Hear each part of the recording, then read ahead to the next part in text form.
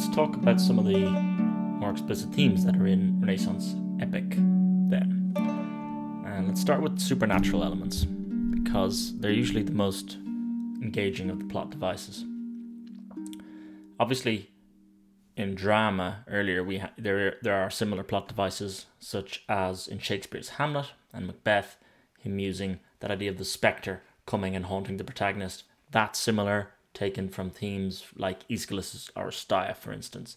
So, like what we had, those ways of taking nuggets from antiquity in terms of your uh, in terms of your devices, you can then also do the same if you're an epic writer. Uh, in the Sons of Lusus, the spirit of the stormy Cape of Good Hope, Adamastor, is the unconquerable, and he appears as a gigantic genie. Vasco da Gama makes his way toward India.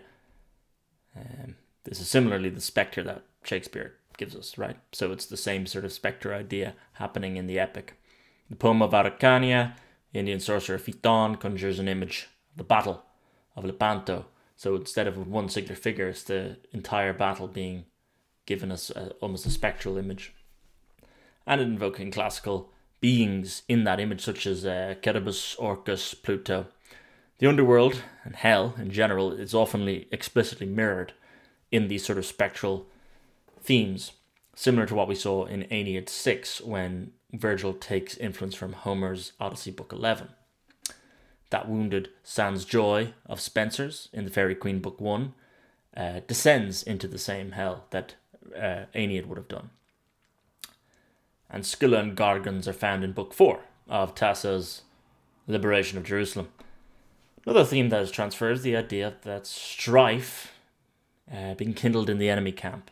Fury Alecto does this job in the liberation of Jerusalem, just as she had done in Aeneid Book 7. Ariosto's Orlando Furioso, the act is performed by Discordia, but it's similar to that of is that of Alecto. And Spirit of Strife that started the Trojan Wars, Discordia. So there's the link there. And the third is the sorceress. So in the Odyssey, the sorceress of supernatural elements is Circe, turning in wary guests into animals within the walls of her palace.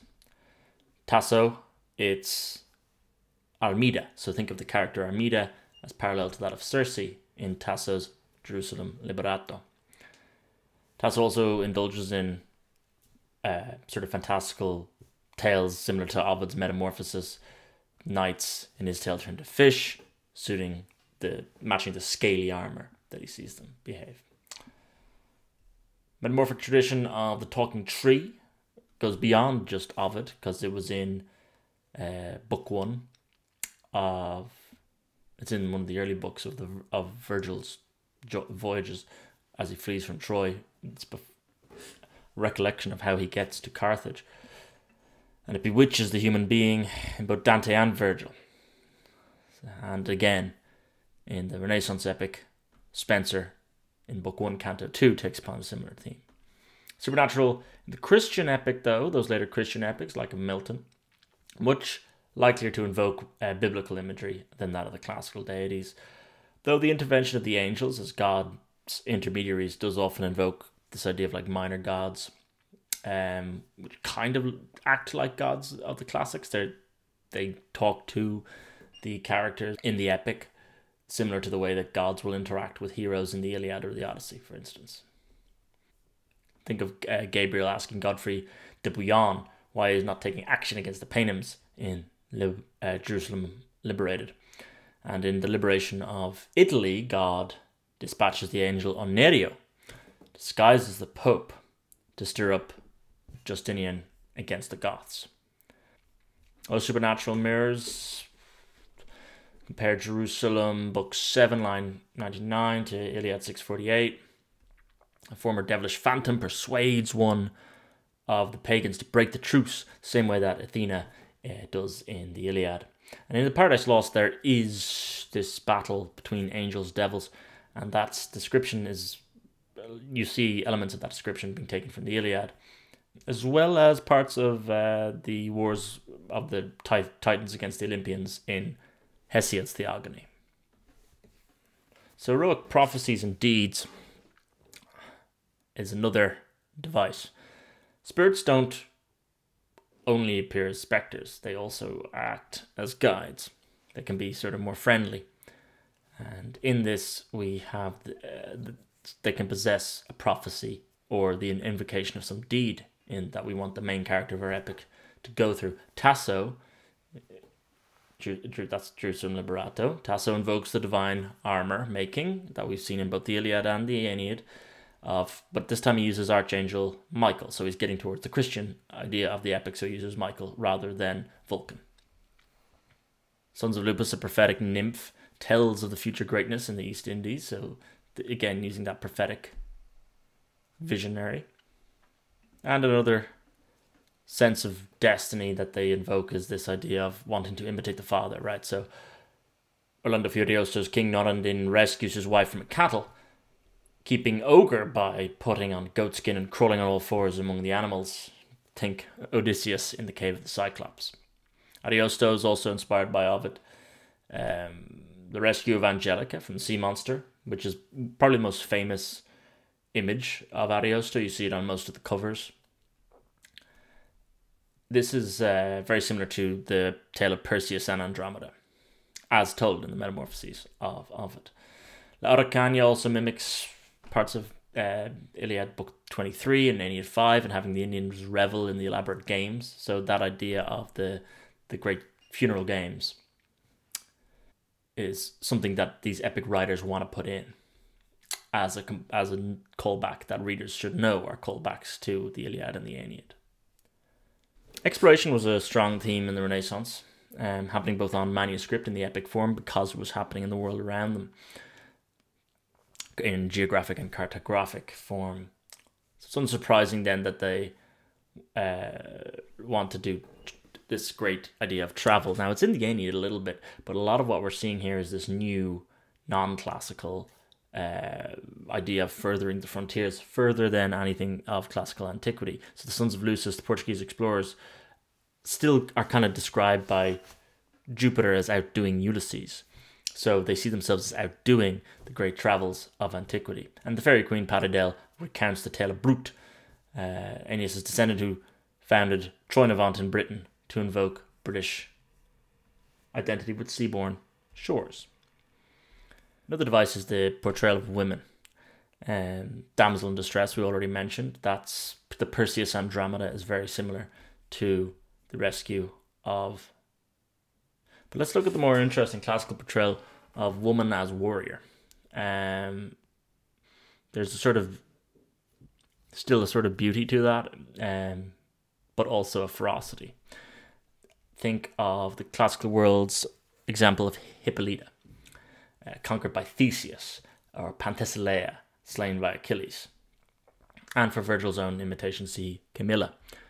But for the Renaissance writers, they, they fused these with a real world example, usually through Joan of Arc, who had appeared in the Middle Ages. So they could they had a new element that they could use Joan of Arc and then put in a Penthesilea or a Hippolyta around that. Another uh, example they had in real life was Caterina Sforza to create interesting characters, Clorinda in the liberation of Jerusalem or Bradamante in Orlando Furioso. And then Spenser takes Bradamante from Orlando Furioso, from that the Italian epic happens first, and then it goes to England later and it takes the form of Britomart, his own womanly knight, who goes on her own quests in book three of The Faerie Queene. And of course, throughout, we see the writers still wanting to invoke the muse. So the invocation of the muse is still important for epic, writer, epic writers in the Renaissance period, just as it was important to those in the past. Sometimes with the Christian epic, you see the likes of Milton struggling to square that. Should he be divinely inspired by God himself, or should he be uh, inspired by the muses? So it's a difficult one uh, for some of the Christian writers to square. But nevertheless, they do feel compelled to add some invocation of the muse in there. Dante had invoked them in his comedy, so they had precedent. And Tasso completed sort of the Christianization of it with lines such as, Who dost not with soon fallen boys adorn thy forehead on Mount Helicon, but high in heaven, among the blessed choirs hast immortal stars, a golden crown. So he takes, I'm not going to Mount Helicon alone, but I'm going to ascend even higher to heaven within the same quatrain. So then there's nothing left to do about these Renaissance epic devices than to look at uh, some writing style. If you echo a phrase from Virgil or Ovid, um, there was always a question to the Renaissance epic writer whether they were being original enough or whether it was plaster cast. Ultimately, though, you can be original if you're done, if you do it right, right? So it is an art, it's an art. So you can do it, you can take elements from Ovid and do very clear call out lines, but if it's put in the right way, it can still work. Let's look at Satan in Paradise Lost as an example of this. If thou beest he, but oh, how fallen, how changed from him, who in the happy realms of light clothed with transcendent brightness didst outshine myriads, though bright. Those lines are a deliberate quotation of the words which Aeneas described uh, when he saw the ghost of Hector. And this is a translation from Virgil's Aeneid. Ah, how he looked, how changed from his old self, the Hector who brought back Achilles' armour. The evocative art then is reminiscent quotation rather than direct quotation. Still used well in the time. You, you can go as late as T.S. Eliot, it's still being used well. Look at Eliot's description of a rich and beautiful woman. The chair she sat in, like a burnished throne, glowed on the marble. And then compare that to Shakespeare, who Eliot was trying to mimic in time. The barge she sat in, like a burnished throne, so the burnished throne call out twice, burned on the water. So Eliot could take it from Shakespeare the same way the likes of a Milton could take it from Virgil. That whole idea, though, about the style and whether you could take it, it was thrown into the deep end, or you know, the Romantics wouldn't have believed it. They were very insistent on something original, um, and has in recent times been sort of a misapplication to scholarship, which has resulted in sort of the decline of classical knowledge more broadly because you're seen as just mimicking the same thing again, rather than seeing the ability to infuse that mimicry into your own work and make it work well is actually high art. So, what Milton or an Eliot know they can do, who are very steep in the classics, they don't. They're not. They're doing more than just creating a story. They're creating callouts to the great pantheon that they see themselves in or that they're nominating themselves for almost with the work. So it's very important that you do do those callouts. Can be misused though. Think of Tasso's Liberation of Jerusalem, Book 2, and um, when he tried to call it with Dido's Aeneid 4, when he said, Yes, we may die, but not die unavenged. Quite inappropriate for the Christian heroic sacrifice for the cross to be compared to a pagan princess's love torn suicide. So that you know, you can't just take quotations and drop them in. It has to kind of fit the narrative. Nor too should the references be so obscure that not enough of your readership is. You were going for a well read readership, but they still wanted enough of that readership to get it. Otherwise, you're seeing yourself as indulging rather than inserting as an art. This had become slightly stale by the end of the Baroque, so Milton is kind of the last of these epic writers that didn't become stale and stultified. So the insertion of particular classical devices became almost too predictable for an audience by the time of the Baroque. We're going to see that later. And then the Romantic Revolution will come in to try and say, let's re energize this with more, more originality. That's all to come later. So that's it until now.